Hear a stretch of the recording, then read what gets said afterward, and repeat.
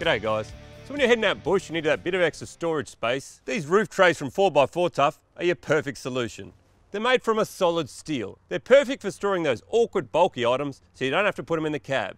So next time you're heading out bush, instead of dragging a trailer, consider getting one of these. Now guys, always follow instructions. Make sure you know how to use the products correctly and keep yourself and those around you safe.